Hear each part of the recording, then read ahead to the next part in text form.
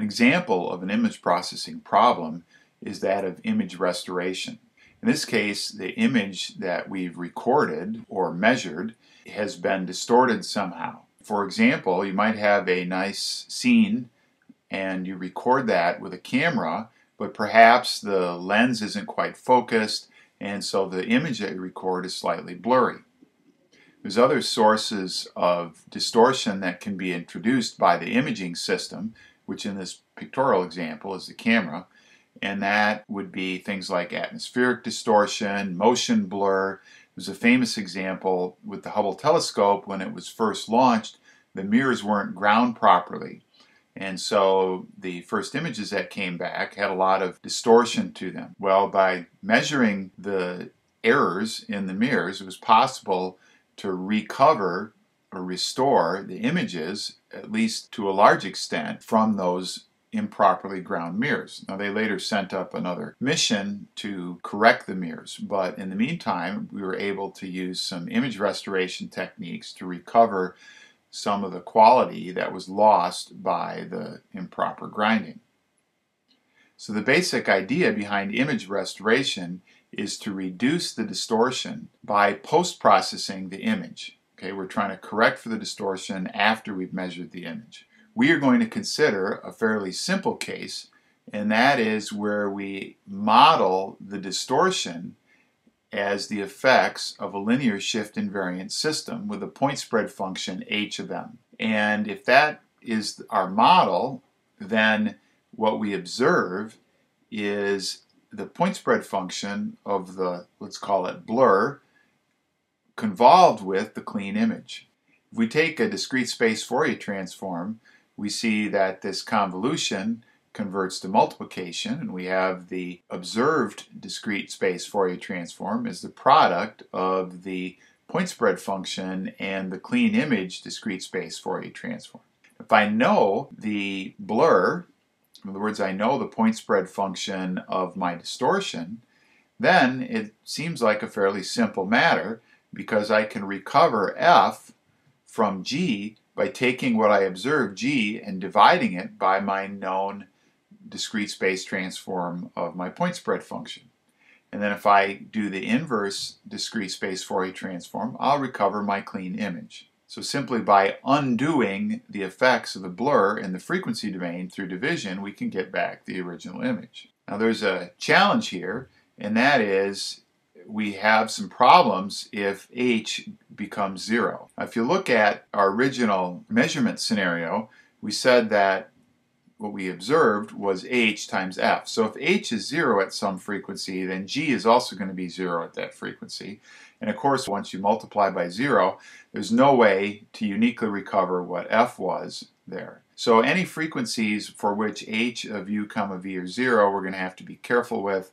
And rather than divide, try and divide by 0, we'll actually do something that's called regularizing the problem by dividing by some small positive number instead of zero. Well, here's an example, and in this panel we're looking at the model for the blur. So we suppose we have our original image here on the left. We convolve that with some blur point spread function, and that'll give us this blurry image that we observe on the right. So our goal is to observe this image, use our knowledge of the blur to recover the original. Well, in the frequency domain, we have that the original image is multiplied by the discrete space Fourier transform of the blur, which is a has a low pass action in this case because blurring corresponds to removing high frequency content or sharp edges.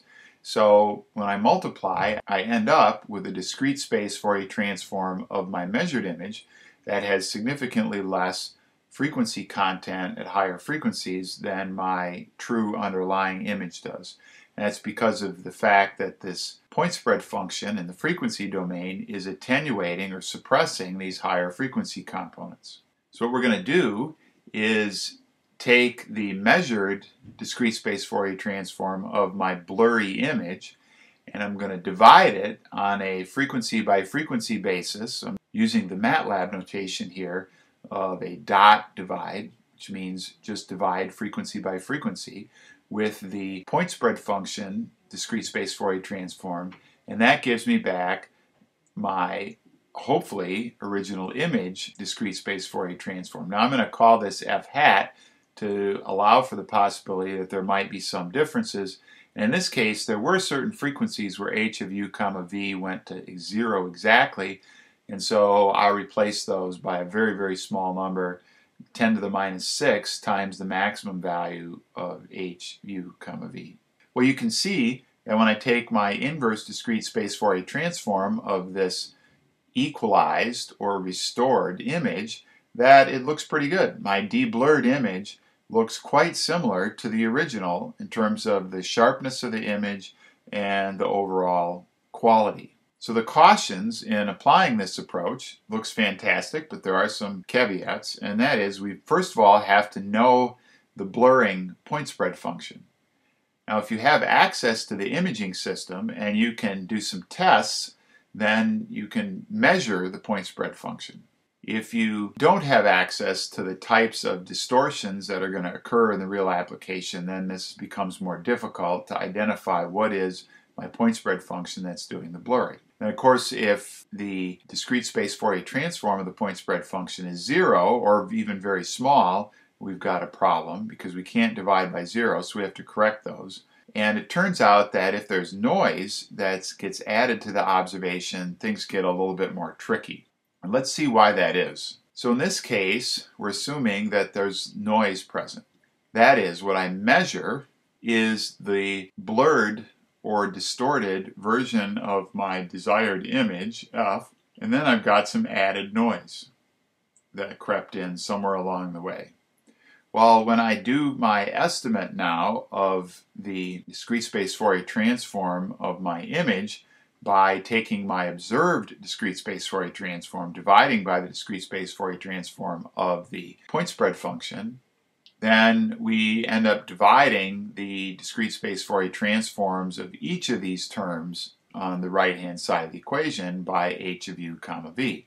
So in this first term, everything works out quite nice because this h of u comma v cancels out this one in the numerator and we're left with f. But over here, on the right hand side, we can see that I've got the noise divided by h of u comma v.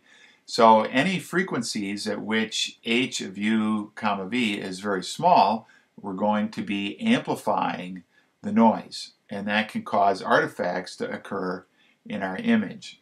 I'm going to show an example here, continuing what I had done a moment ago, in that on the left hand side is my deblurred image using the same procedure that gave me a very nice result a moment ago, but when I've added some very, very weak noise.